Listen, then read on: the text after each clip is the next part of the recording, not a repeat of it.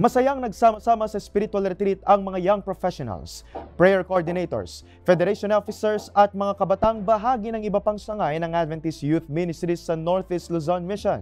Ang kanilang tatlong araw na pagtitipon ay napuno ng mga mensahe, patotoo at masasayang activities na nagpalapit sa bawat isa bilang magkakapatid kay Kristo. Ang balitang may pag-asa, hatid ni Solomon Cadiz. Dinaluhan ng iba't ibang sangay ng Youth Ministries Department kabilang ang Young Professionals, Prayer Network Coordinators at AY Federation Officers mula sa probinsya ng Isabela, Nueva Vizcaya, Cagayan at Quirino ang spiritual retreat na isinagawa sa Dinalungan, Aurora na may temang Stand in the Gap.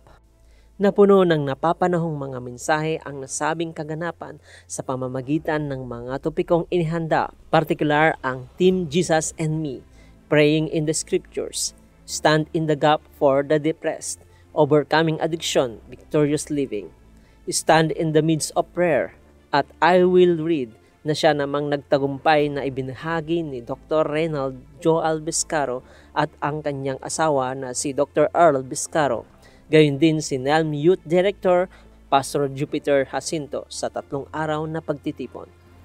Punong-puno naman ng saya ang bawat isa at napagtibay ang samahan ang bawat kabataan sa iba't ibang aktibidad katulad ng team building, recreational activities at swimming. Pinatunayan ng pagtitipong ito na ang kabataang nagkakaisa sa panalangin ay maaring maging daan sa mas malalim na ugnayan sa isa't isa at ng pananampalataya sa Diyos. Layuning maghatid ng balitang may dalang pag-asa. Solomon Cadiz nag-uulat para sa Hope Today and PUC News.